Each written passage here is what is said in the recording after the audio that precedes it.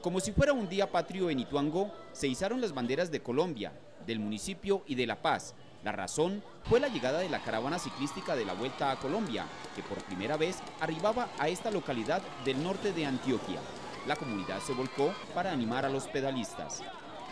Hoy empezamos a ser reconocidos fuertemente por lo positivo y por lo que aquí se está construyendo desde lo positivo. Hasta el Parque La Plazuela llegaron los habitantes de la zona rural del municipio y hasta los indígenas Jaiducamá no quisieron perderse de este acontecimiento, al que el alcalde Aníbal Gaviria llegó en bicicleta en un recorrido desde Santa Rosa de Osos. Disfruté los paisajes desde la bicicleta y disfruté también la amabilidad de la gente en, las, eh, en, la, en, la, zona rural, cuando pasamos por las escuelas, pero también al llegar aquí al casco urbano. Entonces, eh, pues espectacular. Fotos, autógrafos, abrazos y hasta regalos se compartieron durante esta fiesta deportiva, en la que por fin los profesionales de las bielas pudieron conocer el Edén del Norte.